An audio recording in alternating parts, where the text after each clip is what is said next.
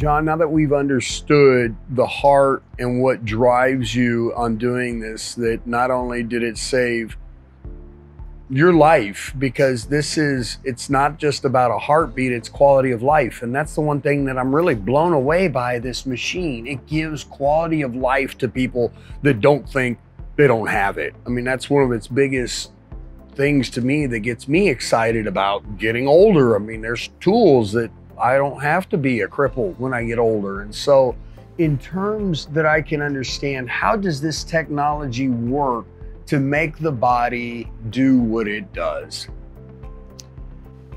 Chinese medicine is based on highly conductive points in the body. An acupuncture point is a highly conductive point. By needling two points, you're trying to get the energy to jump.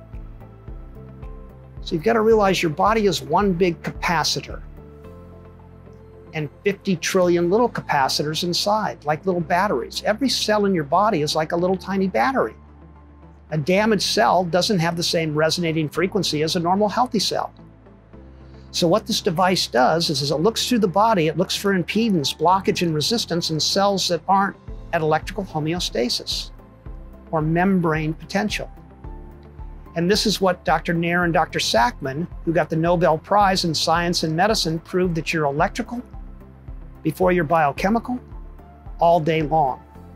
They developed a patch clamp that could isolate and detect these incredibly small tunnel-like structures that are now known as voltage-sensitive ion channels. This is 1991, so if you're wondering why you haven't heard about it, it's only 1991 that they discovered these voltage-sensitive ion channels.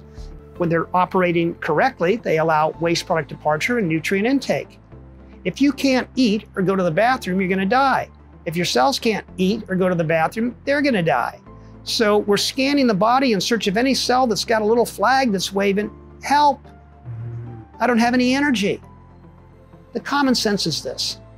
You're diagnosed with an EKG. We're all familiar with that for the heart. Mm-hmm. An EEG, that's for the brain and the nerves. Right. An EMG, that's for the muscle. What's the E stand for?